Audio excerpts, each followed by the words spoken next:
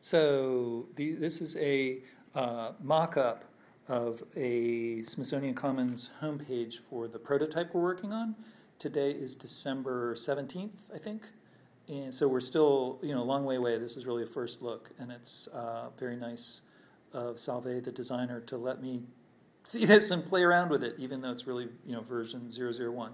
So this is a, a conceptualization of the Smithsonian Commons homepage. Um, right now we're dividing up uh, or, or having the kind of clustering content around history and culture, nature and science, uh, art and design. Search is very prominent. Uh, Kids Commons, Customize, My Collection, My Browse Path, Join, Login, Search. I love this thing. Surprise Me is one of the links right there. Uh, Smithsonian for your smartphone. Learn more. Uh, this would be a kind of a featured promotional area where we could talk about the Smithsonian Commons or bubble up editorial messages. Here's a box where we're trying to spotlight Smithsonian expertise in the Commons, and uh, balanced against Smithsonian expertise is recent activity, um, uh, things that uh, users or Smithsonian staff have recently added to the Commons. Um, each of these areas, this is really a, a rectangle that's been divided into quadrants um, this one is for nature and science.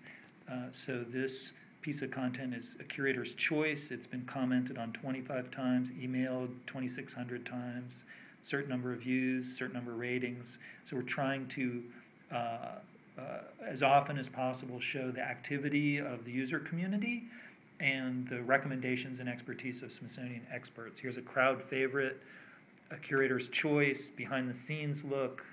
Um, uh, each of these will link back either to object pages or museum sites. We're also highlighting members' collections, personal collections. Here's uh, someone who's a student from France and their collection, uh, an invitation to create your own.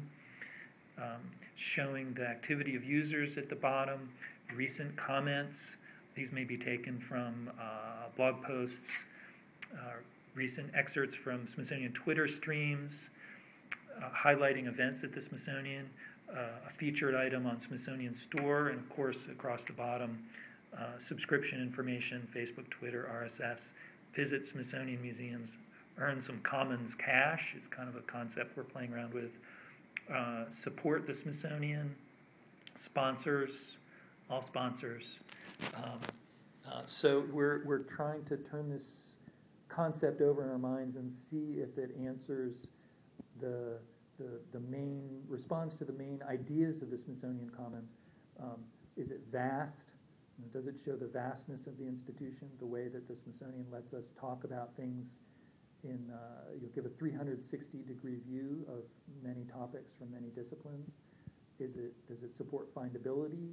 Does it support shareability, socialness? Um, does it, is it, is it kind of free we charging subscriptions for things right off the bat? Um, and also trustedness. Does this show and take advantage of the Smithsonian's position as a trusted institution?